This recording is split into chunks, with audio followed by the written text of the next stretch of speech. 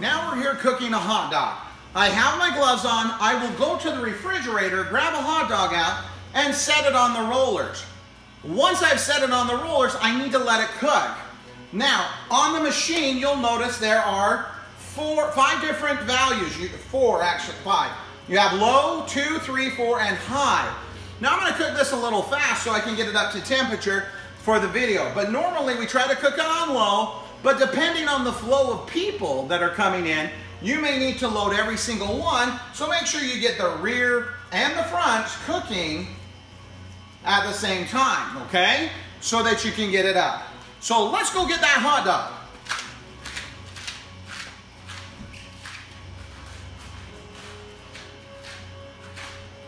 So now I have this hot dog. Now we call these foot long hot dogs when in actuality they are 14 inches. So they may cook down a little bit.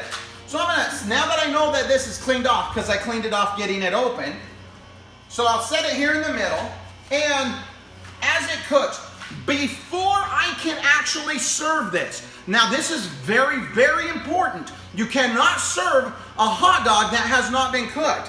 You need to take this temperature gauge and stick it in the hot dog and make sure it goes over 160 degrees. Once again, that's 165 degrees. Make sure that it is cooked up to specifications.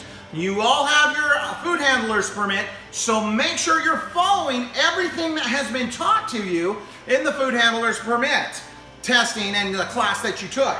So we'll go ahead and let this cook, and then we'll show how to wrap it up. All right, now that the hot dog is done, I'm gonna, it looks done, so I'm gonna take the temperature gauge, hold the hot dog with some tongs, and put the probe in.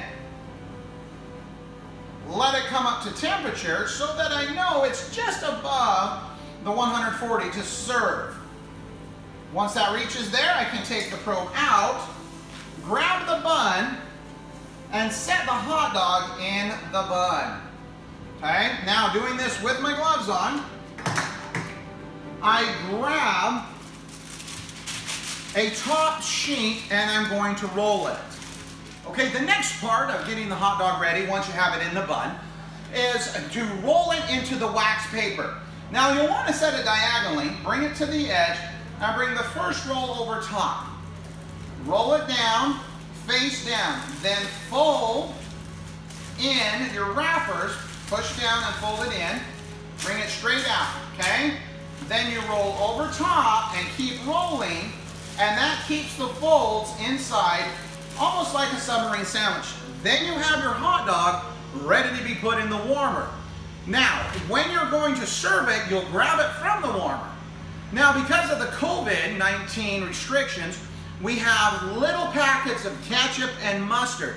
Since we have a large uh, hot dog, you'll need to grab multiple packets of ketchup and mustard to serve with it. One other thing that you might want to ask, in the fridge there is a bucket. That bucket holds pickle spears.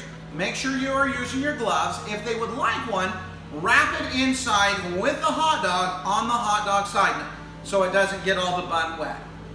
One last thing, once you're done with your hot dog and have it in the bun, make sure to close the plastic bag tight enough so that the air does not get in.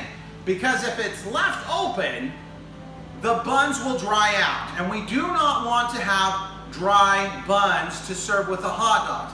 That will receive many complaints from the patrons.